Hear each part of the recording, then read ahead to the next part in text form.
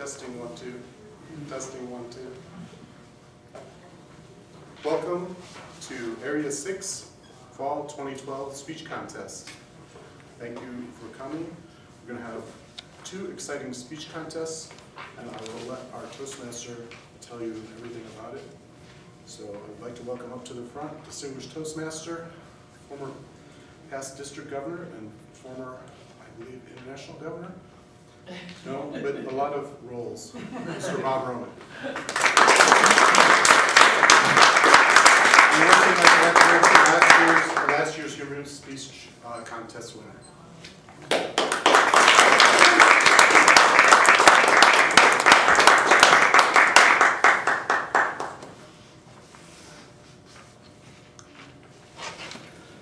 Turn this on.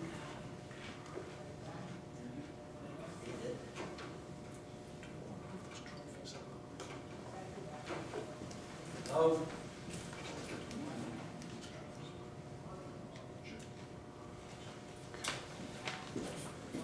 Is it a different spot?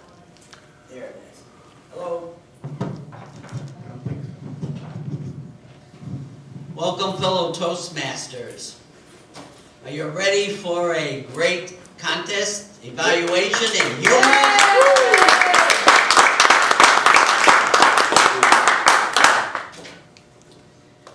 Just before we get started, as Toastmaster I know says these weapons of mass uh, distraction, if we can turn them off or put them to vibrate, better off turning them off because if you're in a humorous contest and the contestant is speaking and he sees you checking your email or sending out a text message, that kind of would deflate the person, so. So because the, all the contestants have worked hard to get to this level in Toastmasters, make sure that we give them our full attention in the evaluation contest, and also our full attention and our laughter in the humorous speech contest.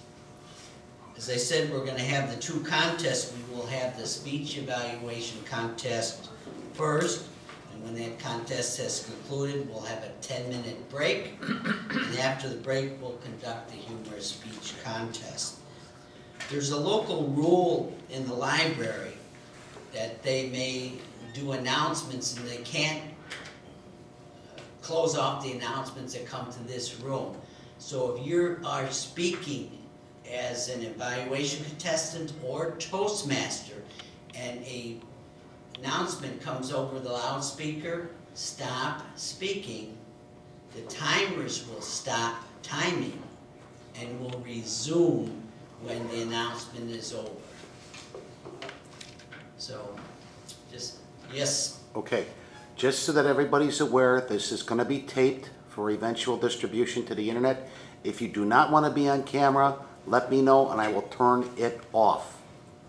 Otherwise, I'll be using this and probably after the conference, this contest will go up on, online. Also, it, if it does go on sooner, it would only be available to people who attended the area contest Right. here, not the whole district-wise. Right. Okay, We have a number of dignitaries here, and I'd like to introduce them now. Our Lieutenant Governor of Marketing, Donna Weston.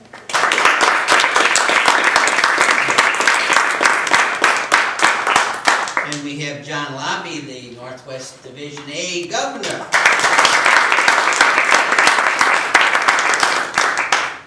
And area governors, we have Dean Glosson, the A1 area governor. Who else would like the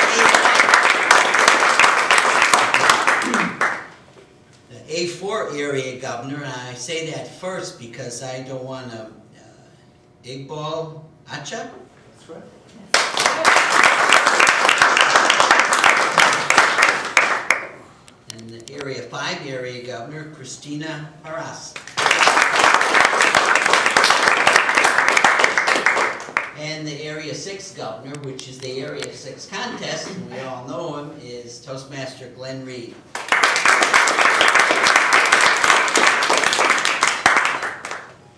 And that uh, the other dignitary is myself, and that was past district governor. And this year I'm celebrating 25 years ago, I was the district governor.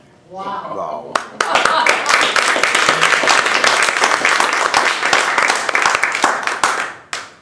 The speaking order for the evaluation speech contest, number one, Valerie Buson. And number two, Diane Bolash.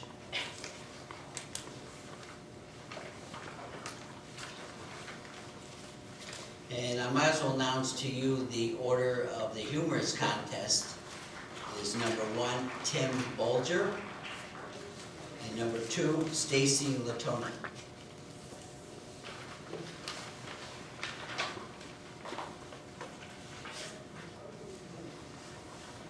The contestants, the timers, the ballot counters, and sergeant at arms have all been briefed prior to the contest to make sure that this contest is fair and to the rules of Toastmasters International.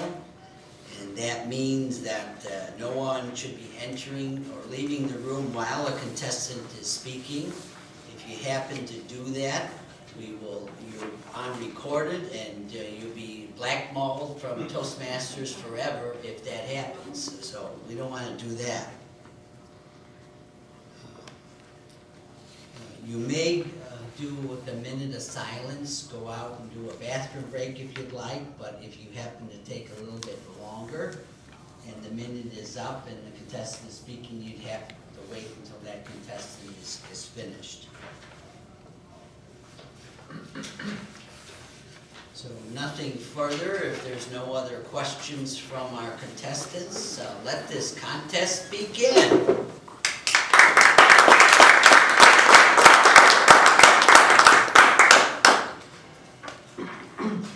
The test speaker is Nilo Ali. Her speech title is My Addictions, My Addictions, Nino Ali.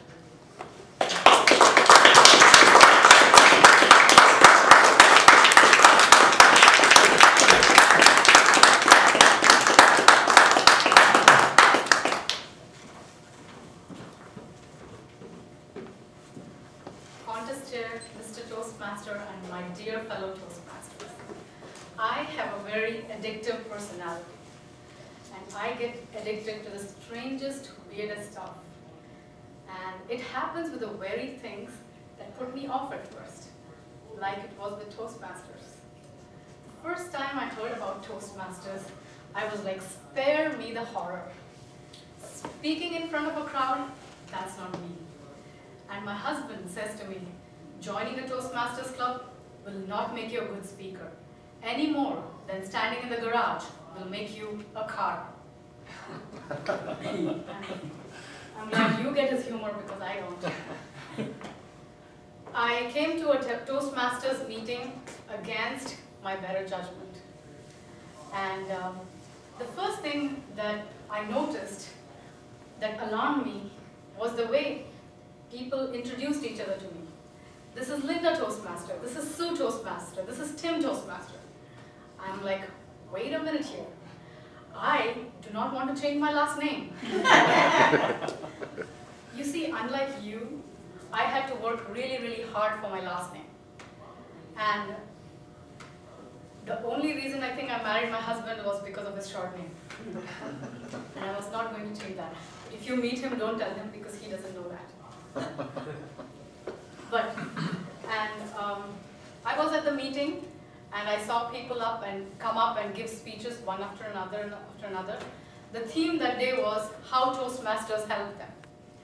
So there they were coming up and saying how Toastmasters changed their life, how much fun they had at Toastmasters, and how good, good a time they were having at Toastmasters. And I'm sitting there thinking, if counting somebody's ums and ahs and correcting their grammar is the most fun you had in your lives, then there's something wrong with your life. But then um, I got addicted with the very first speech that I gave. And um, after that, I felt compelled to go there every th- other Thursday and give a speech.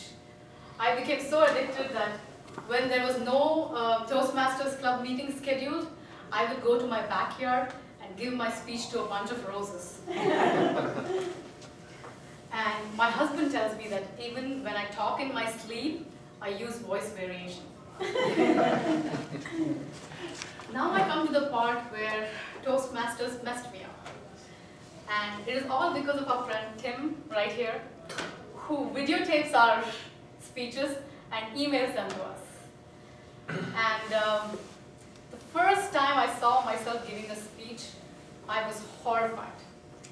I had such messy hair, and nobody mentioned this to me, ever. And I am sitting there thinking, how can anybody concentrate on my speeches when my hair is so messed up? I said, never mind, I'm going to rectify this right away. So I went back home. I worked on my speech, but I worked harder on my hair. and two weeks later, I was back. There I was. I had perfect hair. I was giving a confident speech. And I was very happy with myself. And then came the evaluators, one after another after another. And they told me how good I was. They also told me how I needed to improve. And I'm like, how I needed to improve? What could they be talking about? I had perfect hair. then I went back home. I was furious. I thought, I have to change this. I said, forget about the speech. Just concentrate on the hair. Two weeks later, I was back giving a speech. And as, as I was giving my speech, a thought suddenly occurred to me. You know, it's not my fault that people are not noticing my hair. It's the Toastmasters' fault. You guys have very bad eyesight. Look at how many of you are wearing glasses today. I said I give up. Forget about pleasing Toastmasters, forget about it. But then it started seeping into other areas of my life. I started noticing everybody else's hair. I could not concentrate on anybody's speeches. I could just, I was just looking at their hair. and I thought if I were ever a judge at a speech contest, the only thing I would look for is hair. If the hair is good, the speech is fantastic.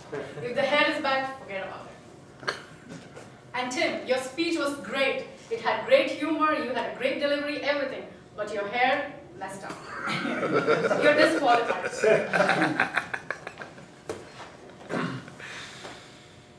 I, I, before I go, I have to tell you about a dream that I had. No, Dean, it's not that kind of a dream. I had a dream that I came here and I gave a good speech and made you laugh. And I I'm glad that it kind of came true, but it didn't come true exactly the way I dreamed. For one, you all are fully dressed. and for another, I look way better in my dream than I did in reality. Thank you.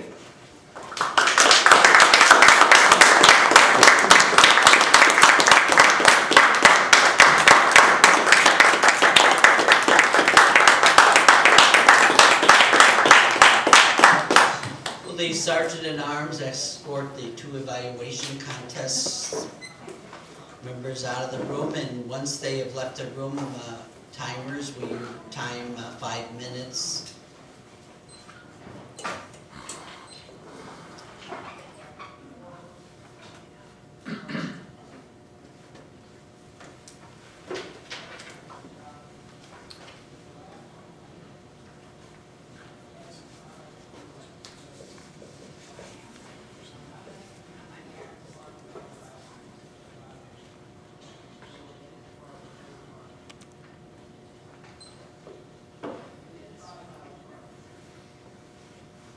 So let's uh, get a chance to know our our test speaker, Nilo Ali. Ali, if you want to come up here.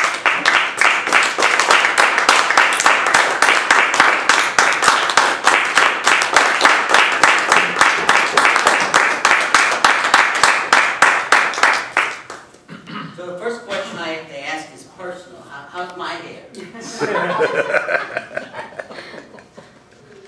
Because it's about the same style it was when I won the humor speech contest, so it must have been okay.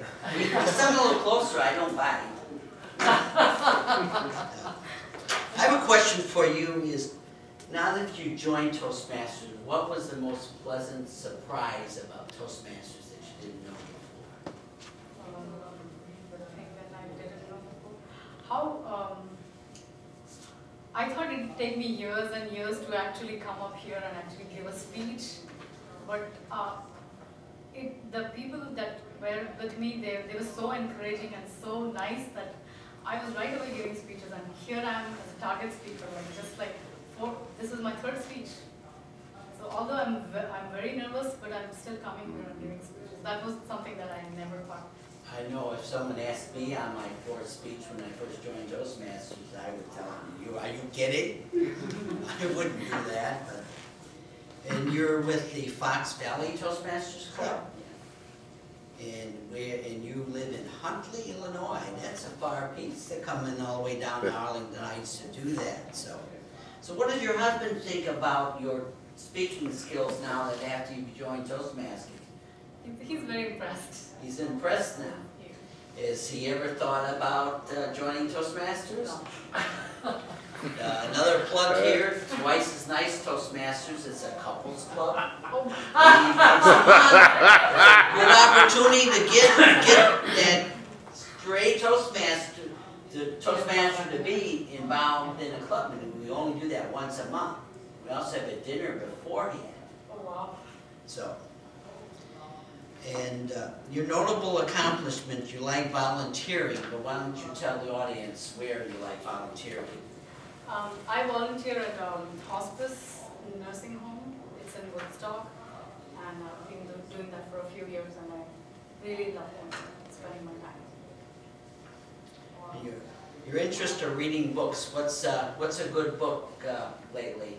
And did you read it paper, or did you read it on a, a tablet? Know, I, I prefer going to the library. So when they said the contest is in the library, I just jumped. yes, I, the last book that I read was Night by Elie Wiesel. That's um, book by um, Jewish person who wrote about what they went through in a night. So, what, if you wanted to relax when you're reading a book, what kind of books would you be reading? I want to, any book I think would just relax me because I just find it very, very Even- comforting. reading. Even a horror book? Any book. And Zombies and stuff like that, that would relax you? I wouldn't be able to go to sleep after reading a book like that. And your occupation is a business banker. Isn't that a hard occupation to be in these days? I would say no. Why not? Because uh, it's, it's the way of you approach your work, I think. Um, any job could be as fun or as dull as you want it to be. It's basically what you are bringing to the job. So I, I say I love my job, I do. And I enjoy it a lot. Well, it shows on your demeanor and she does have an addictive personality, doesn't she? Yes. Well, on behalf of the Area Six Toastmasters, congratulations for Thank being you. our Thank you for guest having me. speaker.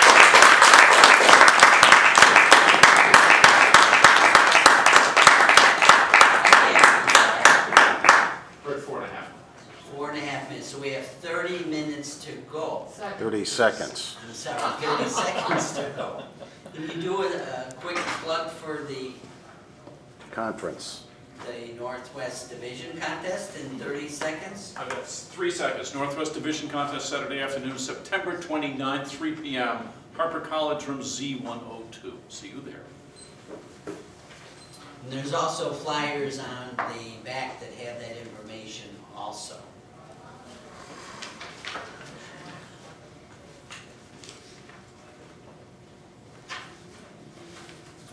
Our first evaluation contest person, Valerie Fusen, Valerie Fuson.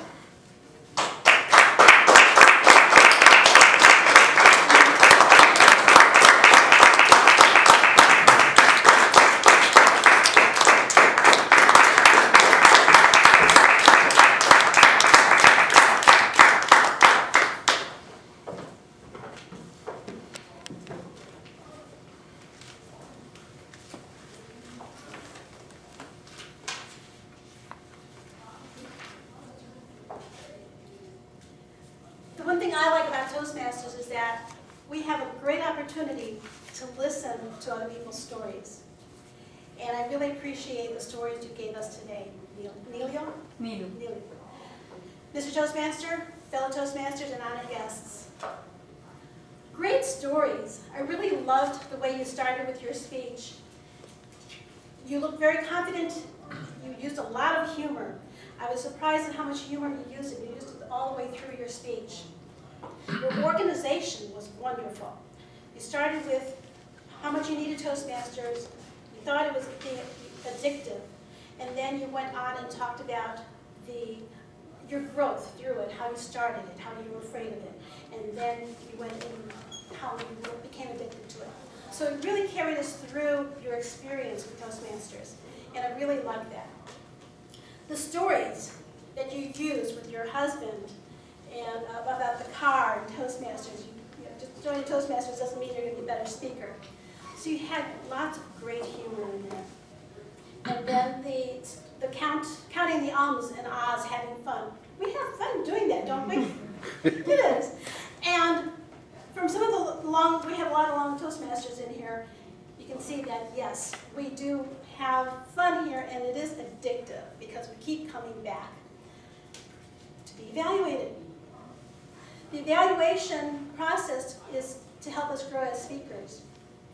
And I'm going to give you two suggestions and just about some of the things that I really liked. Uh, you have a great smile, great personality up here. I really, it really drew me into you.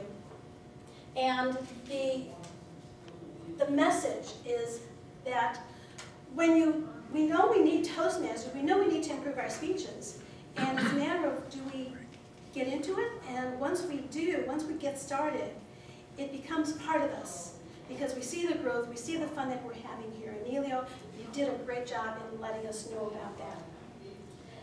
The, con the conclusion, I thought, is where you could improve. You had great organization, great humor. But the conclusion, you actually just, you brought in another story, another humor. And so I think you're concentrating maybe on humor rather than the message. And I think at the very end, you had an opportunity to give us the message again and tie in the addiction again. Possibly, maybe how, how you're going to become more addicted as you go through the process, maybe in, into your, your other speeches. So, uh, and then also more vocal variety. I think you could have used a little fear when you first started, and then just excitement when you're being evaluated, because evaluation is, is just something that you're really, really enjoy. You have fun. So in summary, I loved your stories, your humor, and just have a stronger conclusion and tie in the beginning. Nelia, it's just master.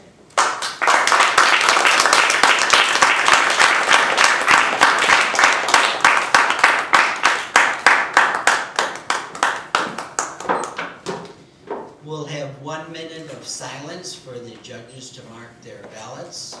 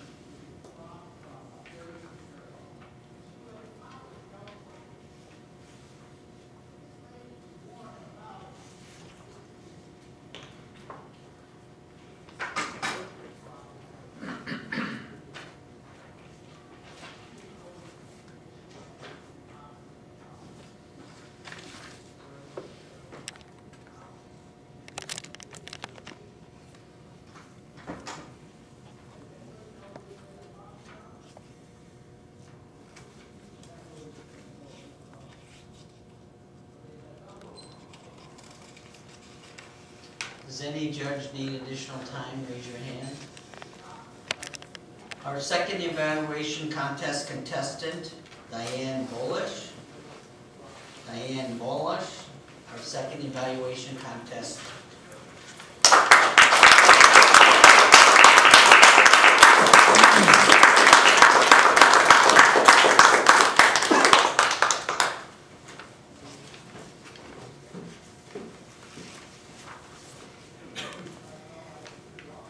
Mr. Chairman, fellow Toastmasters, and most especially you. My absolute applaud to you. What tenacity, touche to come up in this environment in front of Toastmasters that you've never met and share so deeply a personal issue as an addiction. I would like to use touche as to organize my comments. First, your topic, the T, was perfect for this environment as we all have been through those first early Toastmasters days. You're, you were organized in sharing your approach to Toastmasters. I would have liked a little bit more frame of reference about how long has it taken you to develop this addiction? How long have you been working on it? And is it recent or has it been over the last several years? I was a little confused there, but otherwise following along in your timeline about how you've evolved to be addicted to both hair and Toastmasters. The you in Touche is unique. You have a very unique perspective and a sense of humor about your relationship with Toastmasters, and I was privileged to share that with you. And I think that relying on your common and understanding our common experiences really gave your speech uh, a floor here, a real sense of substance for all of us to share with you. The C in Touche represents your comfortable style. You are very comfortable with your presentation skills and very comfortable to share who you are. Some of the things that we all in Toastmasters need to encourage is more eye contact and more time to really pull all of your thoughts together so that it's not a, a series of one-liners, as entertaining as they are. H, I was tempted to say represented hair, but in this instance it really represented your sense of humor and sharing it with us. And by the way, your hair is lovely tonight. and touche, the E, represents your energy, your enthusiasm, and your excitement for not only Toastmasters, but sharing yourself. So I applaud you, and again say touche for your performance here this evening, and encourage you to continue developing your hair and your Toastmastering skills. Mr. Contest Chair.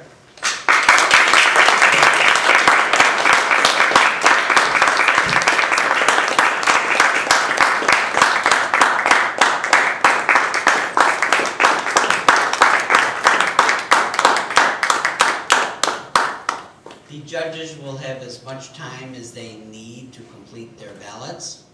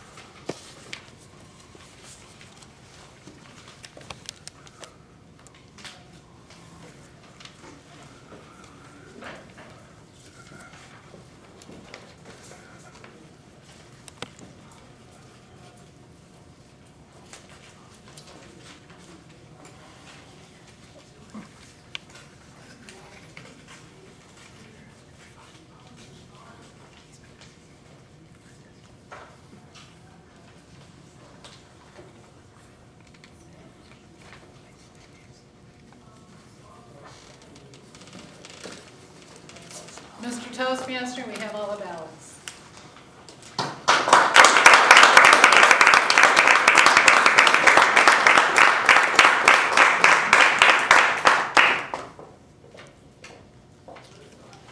Let's uh, get to know our contestants a little bit better while they are counting the ballots. And the first contestant was Valerie. Valerie, come on up.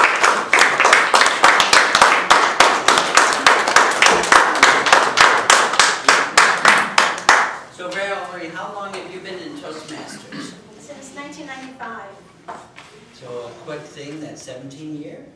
a quick thing, that's 17 years? a lot of years. And I was was 12. 12 years. Five, five. No, she started at Oh, twelve, okay. Yeah, well, I started when I was twelve too, so thirty-two years later. Also, tell us what club you're representing in this contest. I'm representing TOP, uh, Toastmasters on Purpose, and we meet at Harper College. We're an advanced club. What do you mean by advanced club? To join our club, you have to be, have to have completed your 10 speeches via CTM. And I, what we do in our club is you you really give extensive evaluations. You get four evaluators for each speech. So, and each one is two to three minutes. Very thorough. But fun.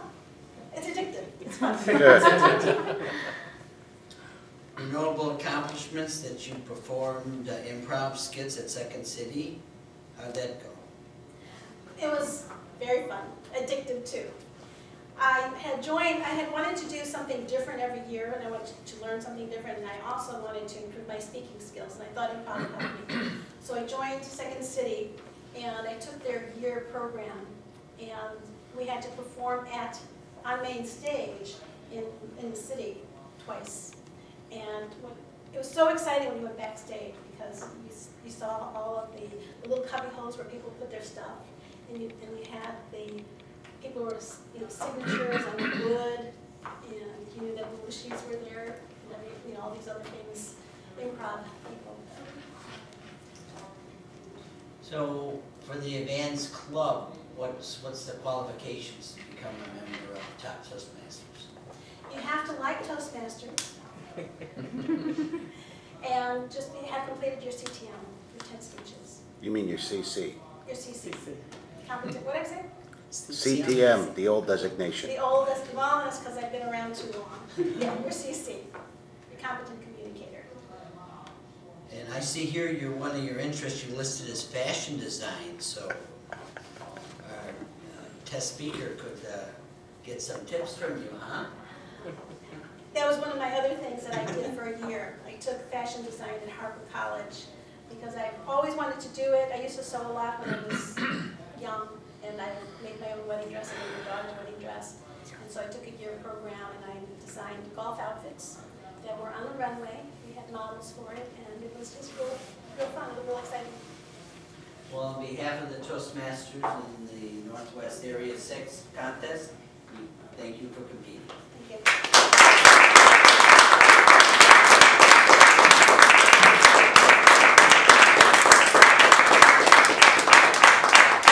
The second contestant in the evaluation uh, contest was Diane Bolash. Diane, come on up.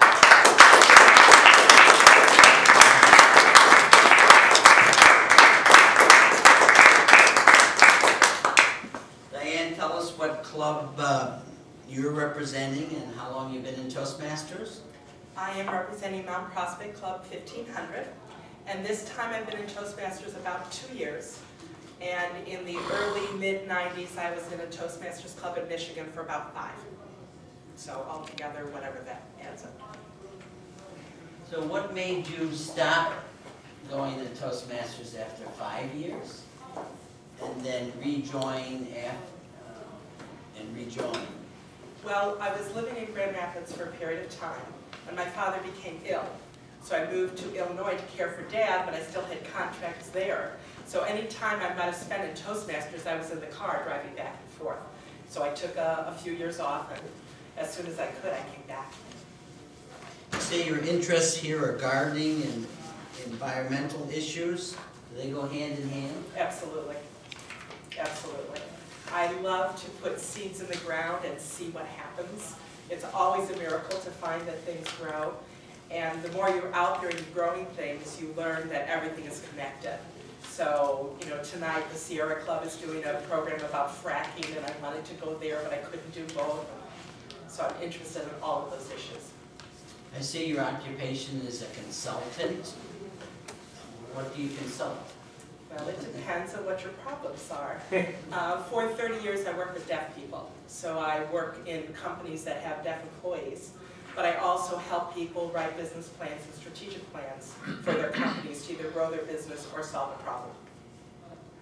I see you didn't put on your your biographical information, the city in which you you reside.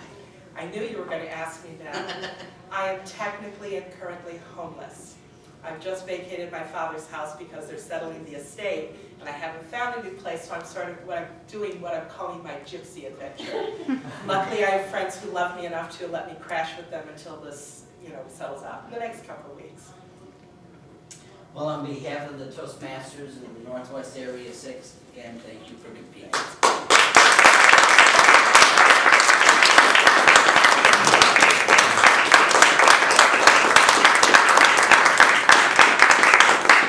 The timer, if you set the ten minutes on the clock, we will adjourn this meeting for ten minutes, and we will get ready for a rip roar and humorous speech contest.